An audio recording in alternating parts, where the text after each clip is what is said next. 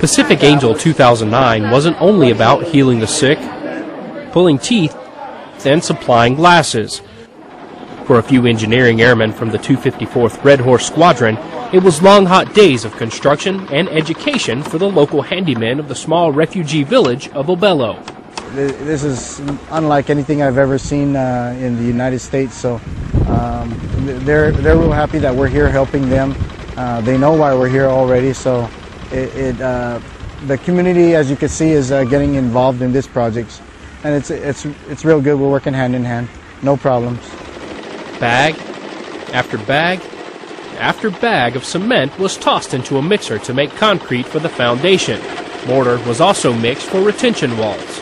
We're helping the local community uh, repair a bridge that's been uh, damaged by uh, floods. We've uh, incorporated U.S. standard type uh, construction along with um, the local um, building skills for the reconstruction of this bridge pretty much. Working in the same spot for the entire exercise made the crews easy to spot every day, so crowds would tend to form. But that gave the airmen ample opportunity to do arguably the most important thing the engineers did while there, teaching the villagers better methods of building.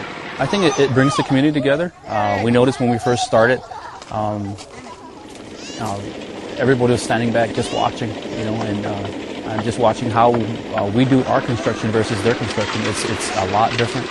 Uh, we use a lot of different materials and a lot of different techniques uh, uh, for, for vertical building. And they're just standing back, but uh, within you know a day or two, they're, they're starting to get into it and, and understand. And as we as we go along, we explain the reason why we do it and we build it this way. Marine Sergeant Will Skelton, Kupang, Indonesia.